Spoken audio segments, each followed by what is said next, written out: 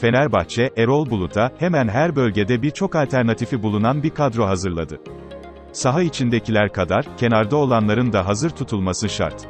Çünkü, 40 maçlık bir lig maratonunda, teknik ekibin tüm oyuncularına ihtiyacı var. Mevkii kale. Bu boyda, bu çeviklik şaşırtıcı. Kalecine ve santraforuna rağmen, şampiyon olamazsın, genel kural bu. Fenerbahçe'nin yerli kaleci geleneğinin yanı sıra, özellikle modern dönemde, yüksek kaleci performansları yakaladığı ve kadro kalitesinin üzerinde başarılar sağladığı gerçek. Ancak diğer taraftan, son dönemlerde bir kaleci departmanı sorunu olduğu da açık. Çok iyi hocalar görev almasına rağmen, beklenen seviyeye çıkılamadı. Bu yılda sorunlu başladı. Bu sene başlarken de Altay'ın duran top, Harun'un da genel istikrar açısından alarm verdiğini söylemeliyim. Altay'ın, karşı karşıya da sadece ülkenin değil, kendi yaş grubunun en parlak yeteneklerinden biri olduğuna kuşku yok. Ama geçen yıl, yan toplarda sorun büyüktü.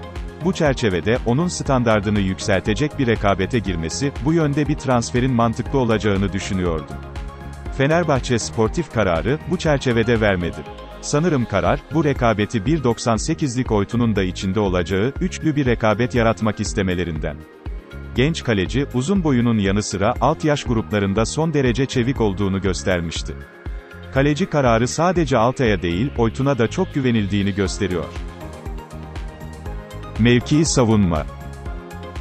Takımın kaderini belirleyecek. Almanya maçında, Sangare'nin performansı gösterdi ki, oyuncu formayı isteyecek.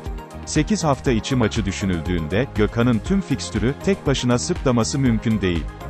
35 yaşındaki oyuncunun, Süper Lig'deki 13 yılında, sezon ortalaması 27.84 maç. 40 maçlık bir sezonda, işi kolay değil.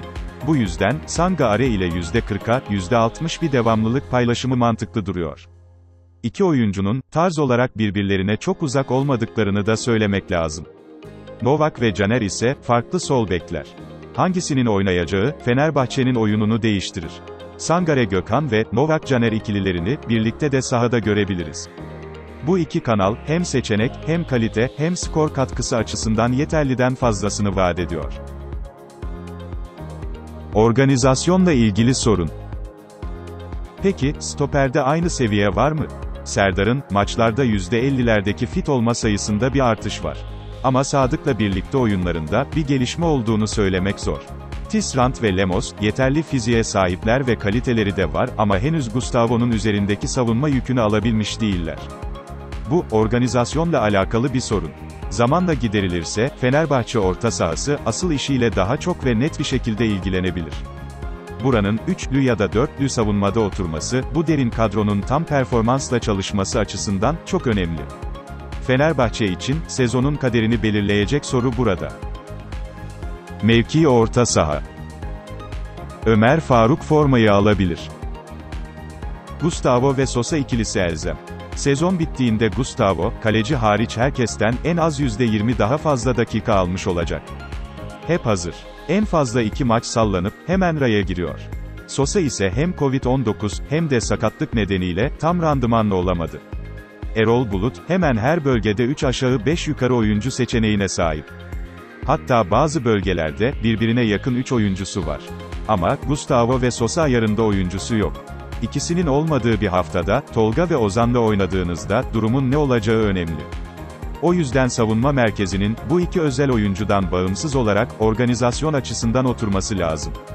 Gustavo ve Sosa'ya, tamamen bel bağlamış bir savunma ve hücum hattı, Ozan, Tolga ve benzeri tandemle, aynı standardı tutturamaz. Bunu sağlamak için önemli öğelerden biri, santrafor arkasını, kimin nasıl oynayacağı. Ya da, iki santrafor tercihi olup olmayacağı. Pelkas kanatta oynatılabilir. Yani soru, tek santrfor oyununda arkadaki 3 oyuncunun, kimler olacağı. Bulut, Ozan'ı 10 numara oynatacak. Onun oradaki, baskı ve dinamizmini önemsiyor. Oraya iki aday daha var. Ömer Faruk, formayı alabilir. Bulut, formayı ben vermeyeceğim, o alacak diyor. Bunun için de, oyuncuyu ikna ettiğini söylüyor.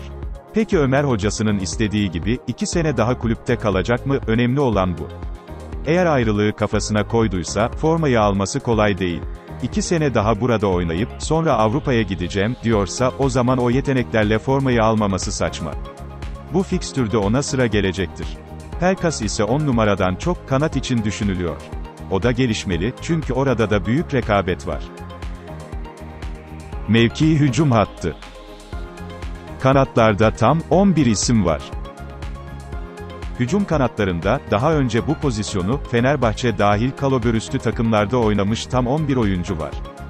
Sinan, Dirar, Tiam, Sosa, Ferdi, Caner, Valencia, Rodriguez, Perotti, Pelkas ve Tolga, buradan sert ve yararlı bir rekabet çıkabilir. Ama negatif enerji de çıkabilir, bunu yönetmek sadece Erol Bulut'a bırakılamaz.